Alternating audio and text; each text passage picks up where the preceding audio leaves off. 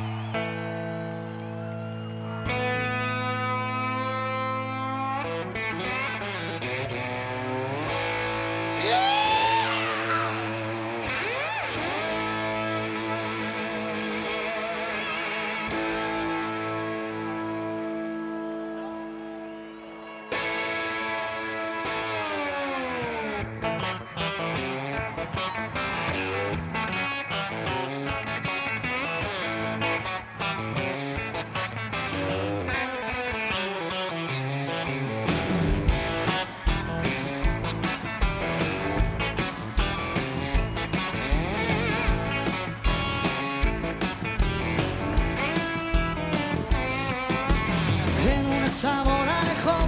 asfalto vive hace tiempo un señor muy raro. Es extravagante y huele a butano. Si alguien le despierta, él le da la mano. Hablará contigo más de media hora. Siempre hay mucha gente cuando no está sola. Dicen que el demonio de la mala suerte. Y ella con sus garras lo cogió muy fuerte. Buenas tardes. ya hace tiempo que te reservas solamente, realmente es muy triste, o sea, es muy, es muy jodido, pero es, verdad, es la única forma de dar un buen concierto. Y es reservando toda la energía para las dos horas que dura un concierto. ¿no? Que antes a lo mejor estabas desde comías y a partir de ahí había una fiesta que ya no paraba hasta después del concierto, pero claro, era, era más destroyer. Y yo creo que ahora todos buscamos esa tranquilidad, hasta te echas una siesta después de comer para estar para estar simplemente al 100%. O sea, realmente cuando tú sales de casa, todo lo que haces, todo, absolutamente todo lo que haces, está enfocado a las 10 de la noche o a las 10 y media de la noche. Todo lo que estás haciendo, desde dar un paseo, comer, eh, hablar, hacer entrevistas o tal, pero te estás guardando, claro, tu o el objetivo que tenías tú al salir de casa ha sido tocar. En ese sentido, to- tanto la banda como de Andrés como la, la nuestra, que ya somos músicos, que llevamos muchos años, lo tenemos muy claro, ¿no? Y lo que buscas es tranquilidad. Y luego, a partir de que tocas, la cosa cambia. Ahí ya se permite todo. Pero el pistoletazo de salida de... Yo he salido de mi casa para esto, es Run, la primera canción del concierto, ¿no?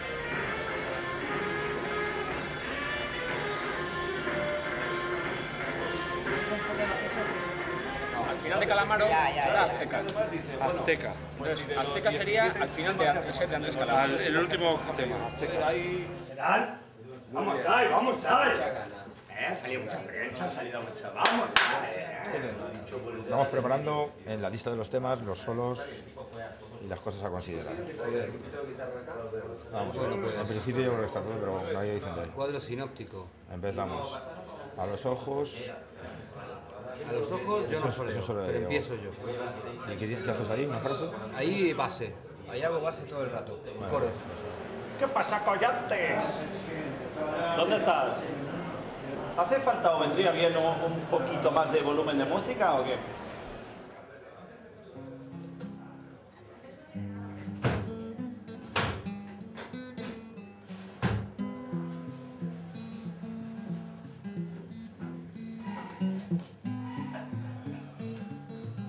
Un abrazo, hola. ¡Cago en la puta! ¡Vamos a la hostia! Se van a cagar. Se van a cagar, hostia. Un guipuchi va a estar aquí viéndolo. ¿Vale? Vamos a tomarnos un chupito. Vamos todos a tomar. Venid todos a tomar un chupito con Fito y los Fitipal. Hoy no, hoy es chupinazo, San Fermín. Tenemos, nosotros tenemos la manía de, de brindar un chupito de whisky antes de salir a tocar, pero es una forma de ritual. A lo mejor hay otras personas que se abrazan, también nos abrazamos y eso, pero simplemente nos gusta brindar, es como dar las gracias, ¿no? Estamos aquí, joder, vamos a salir a tocar, qué gozada, vamos a brindarlo, ¿no? Y Que no se note que nos llevamos como el culo, ¿eh? Eso es. Que parezca que hay buen rollito y todo. ¡Es el niño! ¡Vais a ver! Tienes que preparar un chupito de Aquarius. Un... Realmente, a lo mejor no te apetece ni tomarte un whisky, a lo mejor a- sí te apetece, pero hab- habrá veces que no te apetece. Pero es un ritual nos gusta coger el chupito, venga, el chupito. Y además lo tomamos y todos, ¡qué malo está! Porque es el primero, ¿no? El segundo sabe magnífico, pero el primer whisky es horrible. ¡Hijo de puta! ¡Eh, me cago en Dios! Mañana. Bueno, mañana quedamos a las 10 con Chupito, ¿vale? Ya tarde libre. Venga. El monseñor Fred Astaire. ¿Y llevas camiseta para cambiarte o no te cambias? Sí. La parte de Fito tengo la camiseta. La de Elvis. La de siempre. Uy, el bombo ya no va a Claro. poder. Claro, la partida. ¿Nos estiramos un poquito? Venga. Nos estiramos, venga, ¿qué queréis tomar? ¿Qué queréis tomar? Vamos a estirarnos un poco, hombre. Vamos a estirarnos. ¿Tú quieres champán? Chandon, vamos. ¡Hey, me cago en ¡Hey, en Dios! Los micrófonos.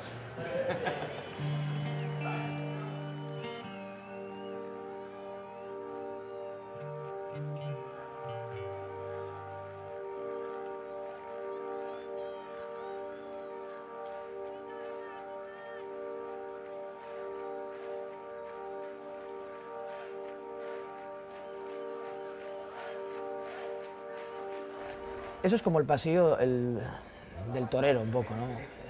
Y yo creo que se coincide en, toda la gente que se sube a un escenario. Es una, es una tortura. Es- es- y, y te dicen, pero ¿por qué te pones tan nervioso si has hecho ya 2.000 conciertos o los que sean, ¿no? Pues por eso, porque ya los he hecho y sé lo que pasa. Y, y aparte que creo que tiene que ser así, porque también si yo no tuviera ese subidón, que es una mezcla, lo que dices tú, entre adrena- adrenalina y nervios, pues realmente pues tendría que hacer motocross, ¿sabes? Claro, no me pondría nada, ¿no? O sea, si yo estuviese tan tranquilo cuando voy a salir delante de 8.000 personas, o las que sean, o 8 personas, como cuando estoy viendo Los Simpson, pues vaya mierda rock and roll. O sea, no me pondría, ¿no? No me, no me daría nada. Y, y yo creo coincidir con que, o sea, algunos somos más nerviosos, muy nervioso y tal, pero eh, eso de, hay que salir a subirse, hay que subir un escenario, hay que, que tener mucha jeta para subir un escenario, ¿no? O sea, es que realmente ¿qué haces allá arriba? Cantar, ya, pero puedes cantar también, sin tanto rollo, ¿no? Y, y te entran todas las inseguridades. Y te sabes la canción, y sabes tocarla, porque la has tocado mil veces. Y si tienes técnicos y gente que, que está velando por ti todo el rato. Pero tienes delante 8.000 personas y, tú quieres ser magnífico y quieres ser extraordinario todas las noches y lo más seguro que no lo seas, ¿sabes? Porque no lo eres, porque simplemente tocas la guitarra y cantas.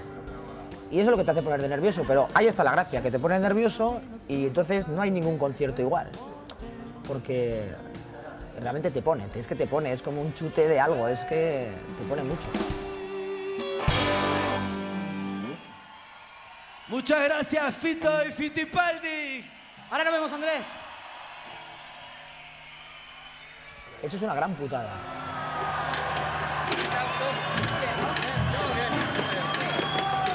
Es una gran putada, realmente sí. Porque cuatro canciones realmente no son nada. Tener esos nervios de salir a un concierto, tocas cuatro canciones, te vas y vuelves a tener esos nervios de que vuelves a salir a un concierto. Con lo cual mi úlcera va fatal gracias a Andrés y a su repertorio. No es verdad.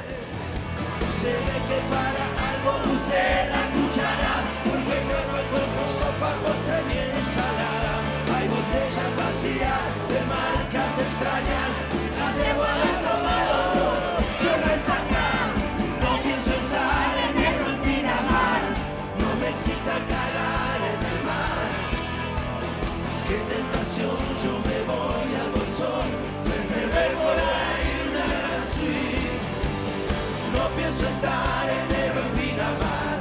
no me excita cagar en el mar. Qué tentación, yo me voy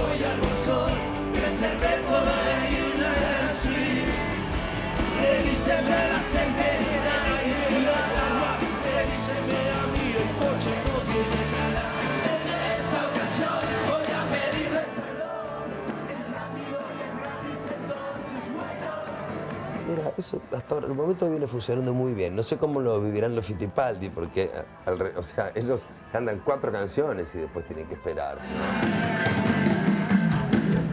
Nosotros mm, salimos y tocamos dos horas. Y después volver al final del concierto de Fito y rematar con cuatro canciones más, nos encanta.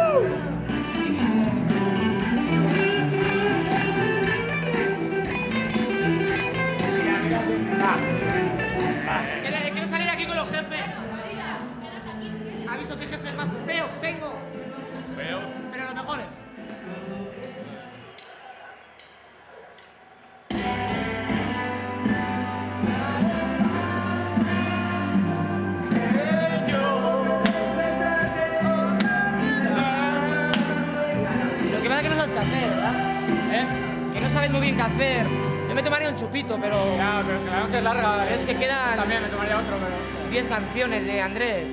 Y otras cuatro todos juntos. Y luego hay. Y luego hay chupitos encima de. Además hoy no hay chupitos, hoy hay chupinazos, San Fermín. ¡Buena San Fermín! ¡Uh!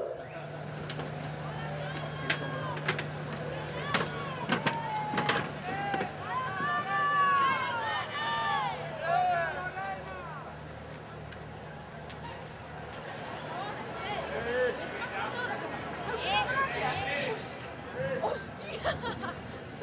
¡Qué guacho! ¡Muchas gracias! ¡Muchas gracias! Muy bien, ¿eh? Muy bien. Ahora sí. Sí, yo creo que la, la prueba y el primer concierto estuvimos todos bastante nerviosos porque, claro, teníamos motivos para estarlo, ¿no? Porque tu primer concierto es el que se graba, no se hace, no se hace al revés, ¿no? Que es, vamos a tocar cuatro conciertos y luego el quinto lo grabamos y ya tenemos esa experiencia de cuatro conciertos atrás. Claro, era mejor grabar dos días que uno porque no te la juegas toda una, ¿vale? Pero por otro lado era una putada porque son los primeros. Entonces están ya pensando, la primera vez que nos vamos a subir juntos, que vamos a encontrarnos 10 músicos en el escenario, vamos a compartir canciones y además está el puto cacharro ahí grabando todo el rato y las cámaras y la presión de la gente a ver cómo va a reaccionar. Si tu primer concierto, la primera vez que subes a tocar con esa banda, esa gran banda, es cuando dan al rec, pues estás flipando, ¿no? Y, y todo, y, y hasta la reacción de la gente no sabes cómo va a ser, ¿no? De repente que salga yo a cantar una canción con Andrés y Andrés salga a cantar una conmigo. Y creo que se notó bastante, ¿eh? Del primer día al segundo. El segundo día es como que ya habíamos hecho una gira ya.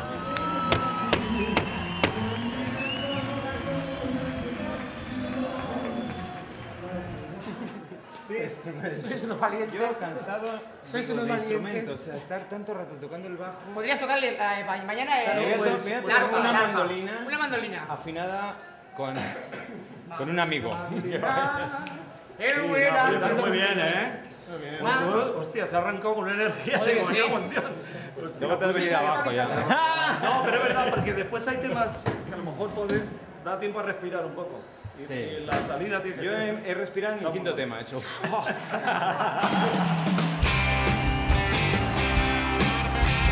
El, el concierto del viernes en realidad es el segundo concierto. O sea, el concierto que se agotó es el del sábado. Luego sale un segundo concierto, pero fue el viernes. El público más ansioso y más fundamentalista iba a estar el sábado porque habían agotado muchas entradas, no 150 entradas, ¿no? Sino 100 veces eso. Hace un calor que te cagas. Eh, buenas noches, muchas gracias. Yo vengo de Madrid, de Moncloa. ¿De Málaga? Valencia.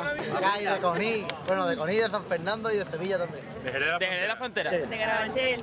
De Vallecas. De aquí, de Getafe, venimos. Venimos acá de la Patagonia a ver a, a Calamaro. Nosotros venimos de Jerez nada más que va para ver a Arfito. No, esa de Alcorcón. Está infiltrado aquí. Esta en verdad le gusta más rollo Alex Ubago, ¿sabes? Fito. Por Fito. Por Fito, desde luego. Vengo sobre todo por Fito, pero Andrés me parece también un jefe. Fan número uno de Andrés Calamaro, yo de Fito y este de Fito. Por Andrés. Calamaro, princi- principalmente. Calamaro de siempre, de siempre, que además que está de antes. Yo soy de los Rolling, o sea, y al Calamaro lo conozco. Pues llevamos aquí desde las 11. No merece la pena. Haciendo cola. Los primeros. Yo quiero escuchar Maradona. bulería, Nada más. bulería de Solamente. Maradona. La casa por el tejado, yo quiero ir. Estadio Azteca.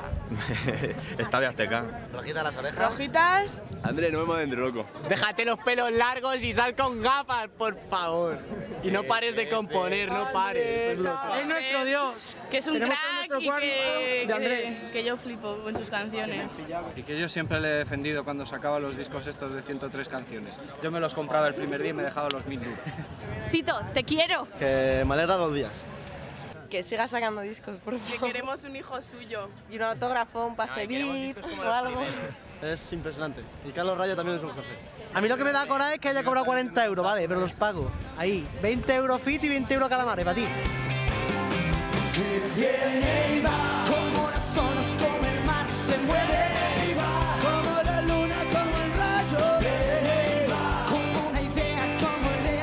rayo las cambiamos todos los días. Cada concierto las cambiamos, algo la acústica que la cambiamos cada dos conciertos. famoso que nadie conoce, que todos pueden tener, que nadie puede guardar, que viene y va.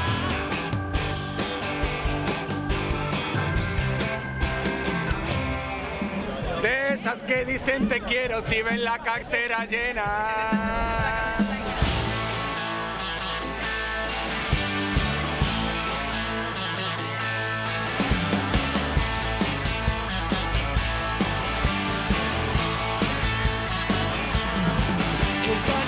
69 se mueve, se mueve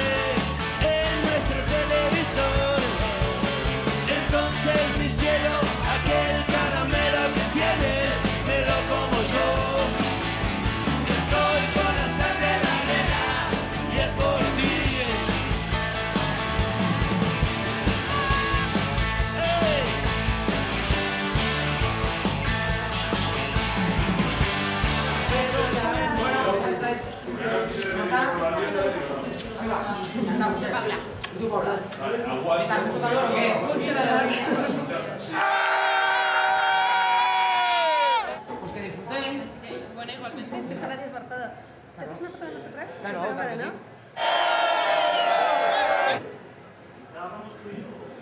Sonrisas. Ahora sí. Muchas gracias. Oye, puede ser que, que- que en vez de salir todos del mismo lado, aunque sea en la entrada, podamos salir por el otro lado. Yo creo, porque yo. el-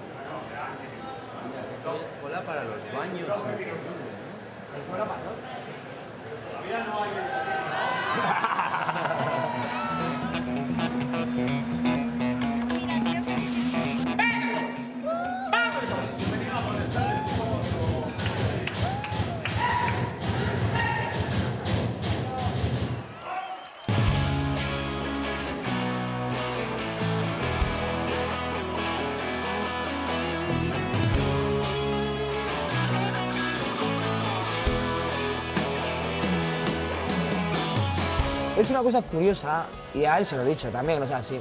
O sea, miro hacia la derecha y está Andrés cantando conmigo, ¿no? Y con los músicos, ¿no? Y, con Tito, y con...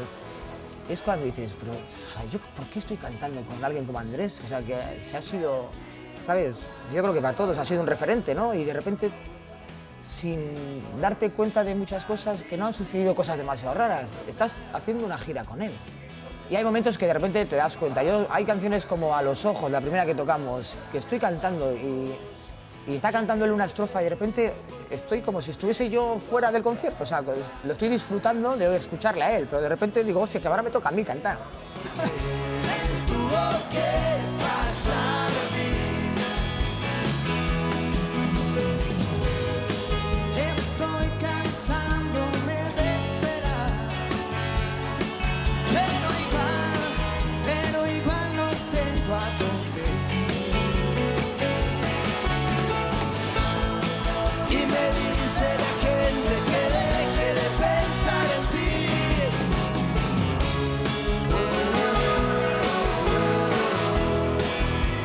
Podemos presumir de tener unos backliners increíbles.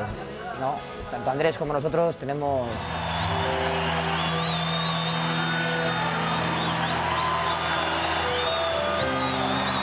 Eso que te decía antes, ¿no? De que tú sales y sabes que estás arropado, sabes que cuando te pase algo hay ahí unos pointer ¿no? que están ahí.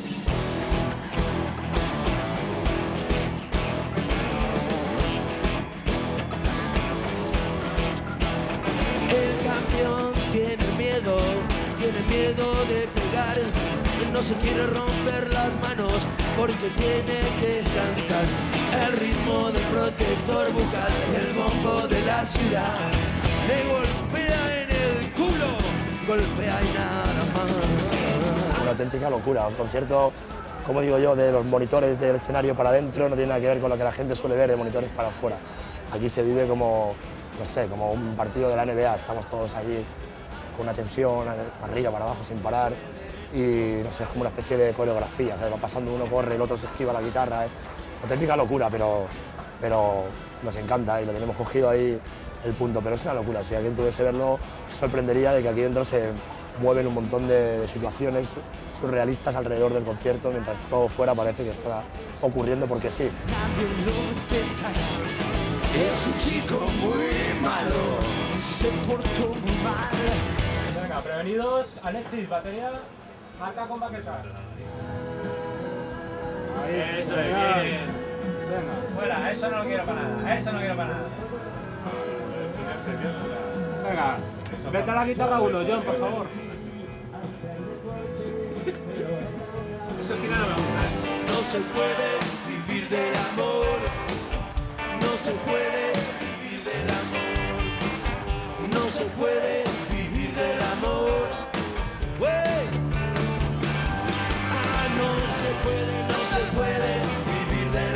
La verdad que la gira, o sea, lo que es todo el montaje, es realmente es extraordinario, es espectacular. Es más, nosotros estamos ahora mismo de gira con los Fitipaldis, llevamos un gran escenario, un gran equipo, pero cuando nos juntamos a tocar con Andrés y luego volvemos a nuestro escenario, nos parece un tablao flamenco.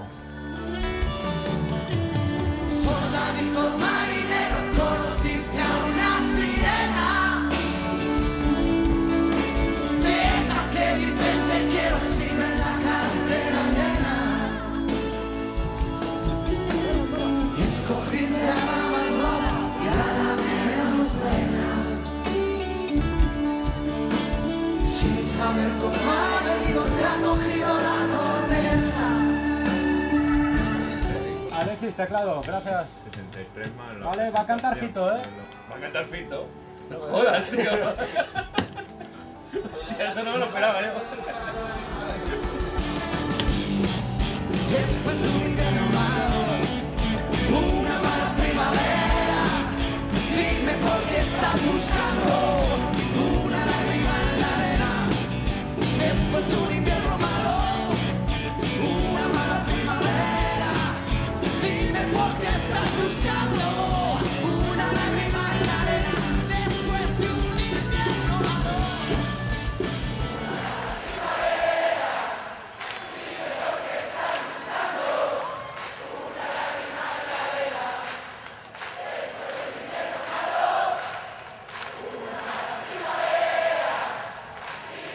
Todo ese trabajo de- del equipo, de los técnicos, de la realización, los vídeos, la- los discos, eh, los hoteles, los viajes, tal, merece la pena.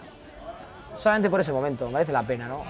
Ya no queda nada entre tú y yo, ya no queda nada entre los dos. Mi conclusión es buenísima, estoy disfrutando de cantar con Fito y los Fitipaldis y conmigo hicimos un buen concierto nuestro, ¿no? Nuestro.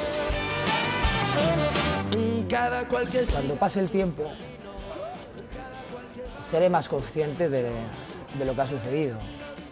Que no ahora, que además siempre venimos de otro bolo nuestro y nos juntamos. ¡Ah, Andrés, ¿qué tal? Bien, yo vengo de Argentina, no sé qué, tú, yo, yo de tocar ayer, no sé qué.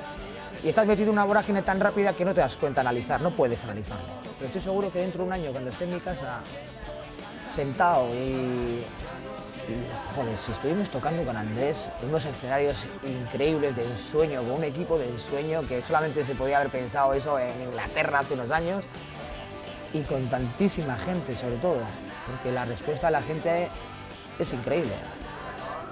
Pues ahí es cuando te sientas a analizar las cosas y dices, viva la madre que me parió.